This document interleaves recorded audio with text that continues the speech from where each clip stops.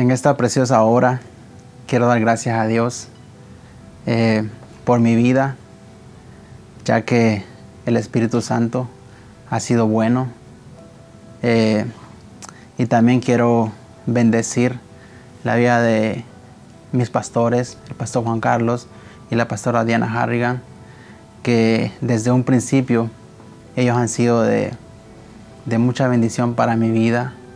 Cada palabra, cada mensaje ha impactado mi corazón y me ha llevado a conocer al Espíritu Santo de una manera sobrenatural. Y también quiero dar gracias a Dios porque si no fuese por Él, eh, yo no estuviese aquí donde estoy. Y vengo de, de una familia muy humilde, de cuatro hermanos, eh, tres hermanas y bueno, cinco, cinco hermanos, eh, tres hermanas y un hermano. Ya conmigo somos cinco. Soy ah, el penúltimo. Después de mí hay otra, otra hermana. Eh, gracias a Dios, a través de, de yo llegar a los pies de Jesús, mi familia ha conocido de Dios.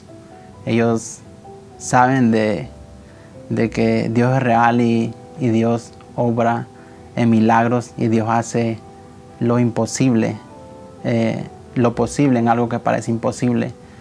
Porque hubo una etapa en mi vida de que yo parecía de que ya no iba a dar más. Y es ahí donde me encontré con una, con una realidad. Y esa realidad se llama Dios. Donde parecía que para mí todo era oscuro. Pero ese es el momento donde, donde Jesús se me reveló como Jehová Nisi, eh, Jehová mi bandera, el que, el que me da la victoria. Pero todo esto pasó porque tuve que emigrar a este país a los 19, a los 18 años en el camino. Cumplí 19 años. Soy aquí a los 19 años. Y al término de, un año, más, más, o menos, yo venía con, con muchas ganas, como tal vez como cualquier persona que sale de su país, ¿verdad? Buscando una nueva vida, eh, un nuevo futuro para él y su familia. Y yo era uno de esos y le hice promesas a Dios en el camino y antes de salir. Y no sé si a ti que me estás escuchando te, te ha pasado esto, pero yo fui uno de esas personas que le prometí servirle a Dios de todo corazón al llegar aquí, pero el sistema de este país, las amistades, las personas con las cuales te juntas, me llevaron a, a desviarme por completo y empecé a vivir algo de una vida de, fantasía, por decirlo así. Estaba joven, eh, yo creía que aún tenía mucho por delante, mucha diversión, eh, mucho relajo, y entré en ese mundo, ¿verdad? Pero como en, mi país yo era, no era tan, tan vago, ¿verdad? aún tenía eso dentro de mí, que mis papás me habían enseñado de honra, honra a tus padres, honra a, Dios por sobre todas las cosas. Y aún yo haciendo eso, todo lo que hacía, al llegar la noche, la, entraba algo en mi conciencia que me decía, todo esto que estás haciendo está mal. Pero se me olvidaba y lo volví a hacer y en todo ese proceso, si no me equivoco, fue el 2015, eh, empecé a, entrar en una depresión, por decirlo así. Y era tan fuerte que yo me metía a mi habitación y empezaba a llorar a escondidas, que nadie me, viera. Eh, lloraba, me quebrantaba. Y, allí, aún en, en ese dolor, en esa tristeza, me preguntaba muchas cosas. ¿Qué pasó conmigo? ¿Cómo vine a caer tan bajo? Y eso me hacía quebrantarme más, eh, porque yo sí sabía quién era Dios, ¿verdad? Había escuchado de Jesús, había escuchado del Espíritu Santo, pero no había experimentado exactamente cuál es esa sensación, porque el Espíritu Santo se nos, es, es la promesa, es el que nos va a ayudar en esos momentos de tristeza, que cuando nos sintamos débiles, Él nos va a levantar, pero por falta de conocimiento, como dije la palabra, yo no podía, no me cruzaba eso en la mente porque no había llegado a conocer a Dios de esa manera. Al Espíritu Santo como el que te consuela cuando estás triste, el que te levanta cuando te sientes decaído.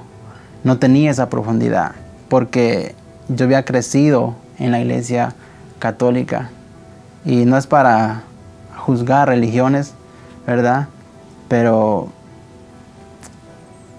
es la realidad. Hay veces que uno piensa que está bien, pero no está bien. Tal vez te sientes cómodo en ese lugar, pero no es Dios. Pero Dios no te quiere ahí, ¿verdad?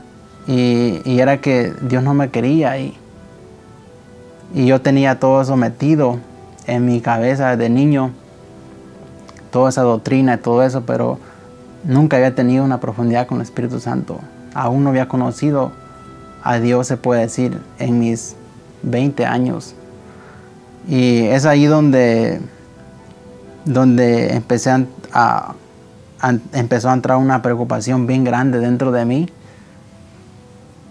Y me sentía, fíjate, bien desvalorizado. Era como que el diablo eh, había entrado en mi mente de una manera que me había dicho, no creo que tú te vuelvas no creo que tú te vayas a casar algún día. No creo que, que tú puedas encontrar a alguien de tu edad por el mundo en el que yo, me, que yo, me, que yo me, me movía. Yo me sentía a mis 20 años tan desvalorizado que no veía luz, voy a decir así. Cuando la Biblia nos dice en el Salmo 27 que Jehová es nuestra luz y nuestra salvación, que no tengamos temor alguno, porque Jehová es la fortaleza de nuestra vida, ¿verdad? Pero una vez más, por no tener ese conocimiento dentro de mí, no sabía qué hacer. Tal vez tú te encuentras en este momento, tal vez te sientes como yo, que no sabes qué hacer.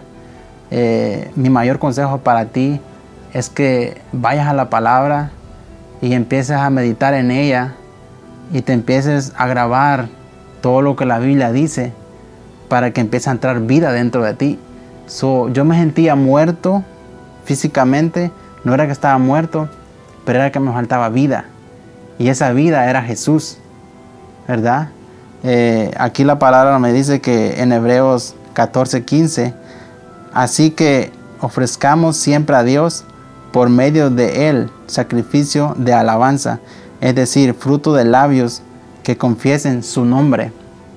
A mí me costaba confesar el nombre de Jesús porque no lo había conocido de la manera que se supone que lo hubiese habido conocido en ese tiempo. Me costaba y, era por todo lo que, lo que yo estaba viviendo. Y como te digo, me sentía muerto dentro de mí. Necesitaba esa luz que quitara toda esa oscuridad en la cual yo, me, yo, estaba, yo estaba atravesando. Y eso es algo que lo estaba meditando la otra vez que digo, wow, yo nunca pensé llegar a una iglesia cristiana, fíjate. Y llegué aquí por, por equivocación. Pero era Dios que me traía con un propósito.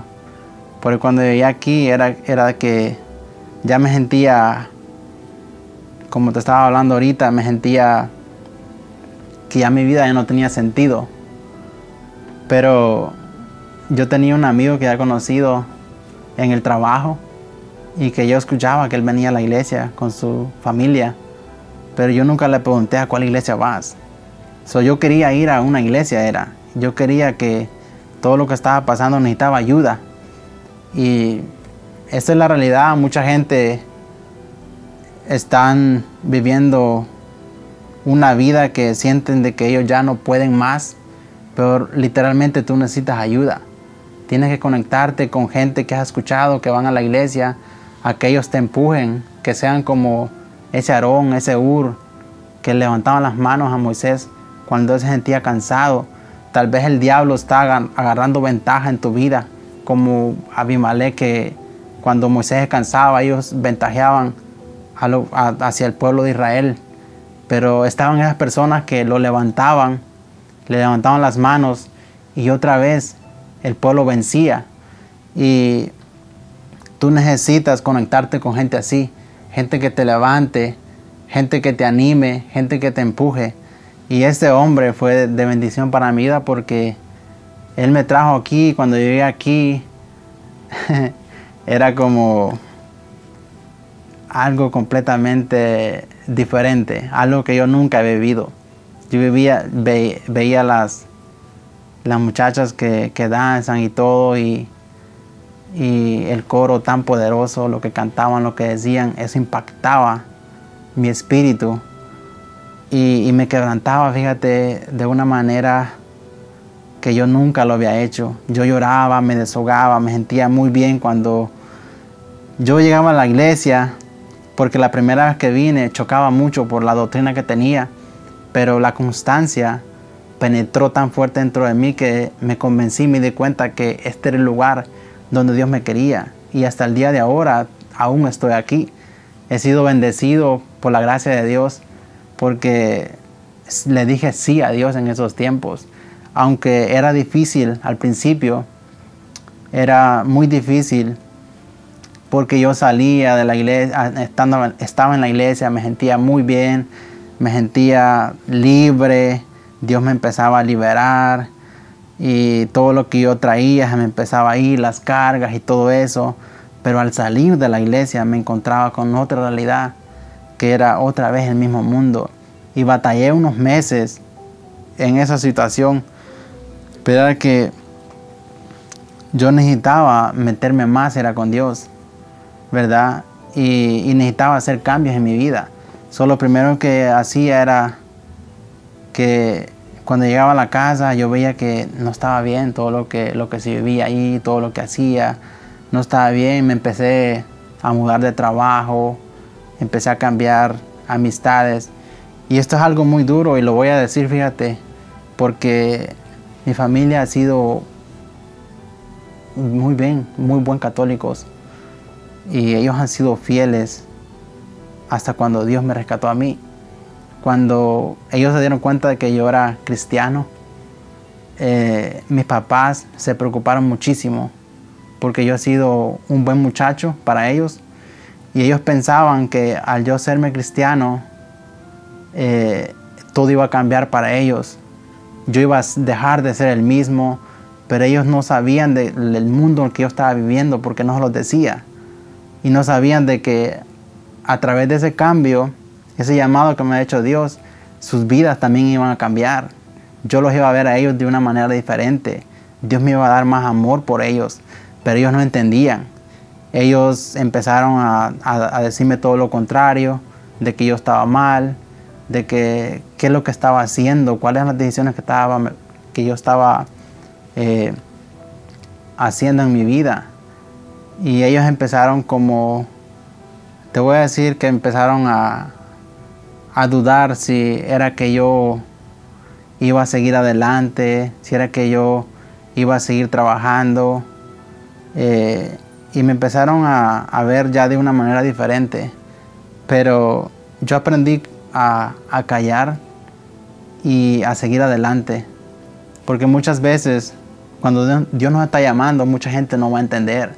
Tus amigos tal vez no te van a entender, pero si tú estás sintiendo eso bien fuerte dentro de tu corazón, que te golpea, te golpea, te golpea, y algo que te está llamando, la mejor decisión que tú puedas hacer es hacerle caso a ese sentir, es hacerle caso a esa voz, porque es Dios que quiere tratar contigo. Y Dios quería tratar conmigo. Yo empecé a, a enmudecer a las voces de mis amigos, inclusive a mi papá, a mi mamá, Y yo creía tanto en aquello que había sentido, que era el toque del Espíritu Santo. Eso yo no quería que se fuera en mi vida. Eso yo lo sentía tan real que me quebrantaba y, y sacaba todo lo que yo tenía. Y empecé, como te digo, a, a callar y a enmudecer mis oídos porque era Dios que me estaba llamando. Es como un ejemplo bien claro cuando, cuando Jairo se le muere su hija, ¿verdad? Lo voy a dar un ejemplo ese. Era un hombre muy importante y era un hombre de. Era, el, el sacerdote de la sinagoga. Y era un hombre que tenía gente a su mando Y lo primero que hace la gente que tenía en su casa de él, que cuando él estaba invitando a Jesús que fuera a su casa, que la hija estaba grave y todo eso, la hija se le muere en la casa y él buscando a Jesús aquí. Y ellos vienen y le dicen, no moleste más al maestro, tu hija ya está muerta.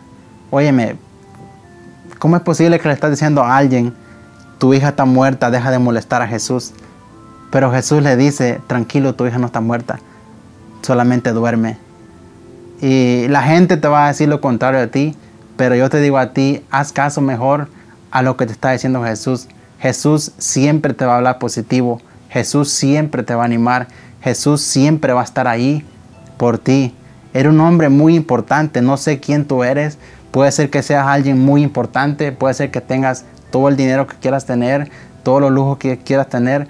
Pero va a llegar un momento a tu vida que te vas a sentir necesitado de algo y puede ser de un milagro porque hay cosas que el dinero no las compra. Todas tus posesiones van a haber cosas que no las compra. Eh, hay necesidades que solamente Dios las puede suplir, como una enfermedad, una muerte, solamente Dios. Y, empecé a desprenderme de todo, a dejar cosas, costumbres, forma de hablar, forma de comportarme. Y empecé a conocer más los jóvenes de la iglesia. Eh, luego conocí al pastor Andy, la pastora Onelis. Y todas esas gentes han sido de, ayuda a mi crecimiento. Y hoy, hoy en día mi mamá, mi papá son más bendecidos. Ellos han visto la mano de Dios como no tienes idea. Mi mamá se ha enfermado, yo he orado, ella se ha sanado. Eh, hubo una ocasión que mi sobrina nació muy, muy enferma y, Dios me usó a mí para poder sanarla a ella. Ella estaba ya en el lugar donde dejan los niños que, ya están ya más para allá que para acá. Y, ellos, cada vez que pasaba algo así, ellos me llamaban a mí. Y, y esa ocasión yo oré por la niña, y fíjate que se sanó, se sanó y hoy en día es una niña bien avivada, como que nada pasó con ella. Ellos han visto la mano de Dios, y, pero fue que yo le hice caso a Dios. Si yo me hubiera quedado donde estaba, no, no hubiese pasado eso. Eh, mi familia no hubiese conocido a Dios de la manera como la conocen. Yo no, no, no, no fuese bendecido como lo soy ahora, porque tengo a Dios. Y, y pues en todo este proceso he conocido a Dios eh, en, muchas, en muchas maneras, en muchas formas.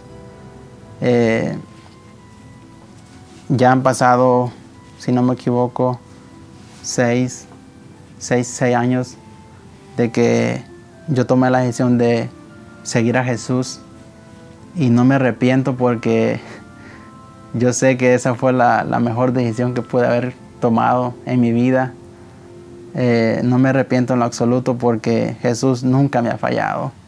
Aunque la gente con la que me juntaba me fallaba, pero Jesús nunca, nunca me ha dejado de la mano. Y han habido momentos en el cual tal vez la gente me ve a mí que soy fuerte, siempre sonrío y todo, pero soy humano. Jesús dijo que en el mundo íbamos a tener aflicciones, pero que confiáramos en Él, ¿verdad? Porque si Él venció, nosotros también íbamos a vencer. Eh, no sé cómo tú te sientes, todo aquel que me está mirando. Puede ser que tú te sientas afligido, deprimido. Eh, no te preocupes, eh, eres humano, pero confía en Dios que si Él venció, nosotros también podemos vencer porque tenemos la promesa más grande que puede haber aquí en la tierra, que es el Espíritu Santo. Métete con Él, empieza a conocerlo y te vas a enamorar de una manera tan grande de Él que nunca más vas a querer regresar atrás como yo lo hice. Conocí tanto a Dios de que estoy seguro y siempre lo he dicho sin temor, que pase lo que pase, Dios seguirá siendo primero en mi vida y lo demás pues que sea añadidura. Eh, he honrado a Dios y he mirado la mano de Dios en la cual que sobrenatural. El Dios altísimo eh, me ha honrado aún más de lo que he hecho por Él. Tanto así que me dio una linda esposa. Eh, acabo de ser papá a los 27 años. Y digo yo, wow, Dios es fiel y cumple sus promesas. Le estoy hablando de alguien que se sentía caído, alguien que sentía que ya no, ya no iba a dar más. Pero hoy en día puedo decir, valió la pena decirle sí a Jesús porque Él quitó todos mis temores, Él me libertó y Él me restauró y, y ahora yo vivo por Él, ¿verdad? Y no puedo estar más agradecido con Dios de la manera como lo estoy ahora. Porque Él ha sido fiel y todas sus promesas las ha ido cumpliendo en mi vida. Y un consejo para todo aquel que, que me está mirando, tal vez que va a ver este, este video, es que no importa cómo tú te sientas o no importa todo lo que tú has hecho, eh, si estás en un proceso en el cual tú no sabes qué hacer ya, yo te quiero decir a ti que a la mejor persona que tú puedas acudir es a Dios. Porque esas son las personas que Dios anda buscando. Gente quebrada. Dios quiere restaurar a alguien. Y yo estaba quebrado, pero Él me restauró. Y si tú estás en esa posición, te sientes tal vez así, eh, no te preocupes porque Él lo va a hacer. Dios lo hizo con la mujer de flujo de sangre. Alguien que había perdido todo. Alguien que había invertido todo lo que tenía, alguien que la gente le decía que era inmunda, pero Jesús le dice, tú eres una mujer de fe, tú has hecho lo que ninguno aquí ha hecho, has tocado mi manto y has sacado poder de mí, tú estás listo para sacar poder de Jesús, pues quebrántate delante de Él y vas a ver cómo poder de Dios va a salir y se va a transmitir a tu vida. Y eso es todo lo que quise compartir con todos aquellos que me están mirando, que van a ver este video. Bendigo tu vida donde sea que tú estés. Espero que la paz y el favor de Dios sea contigo. Bendiciones.